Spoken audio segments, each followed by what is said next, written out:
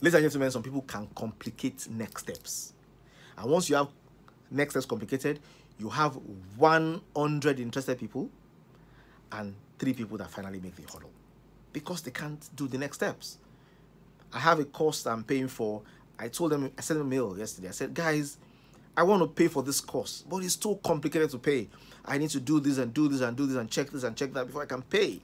Do you have an easier way for me to pay? Just show me the account. Give me the Ethereum wallet. Give me the blockchain. Give me something. Let me just transfer and I'm done.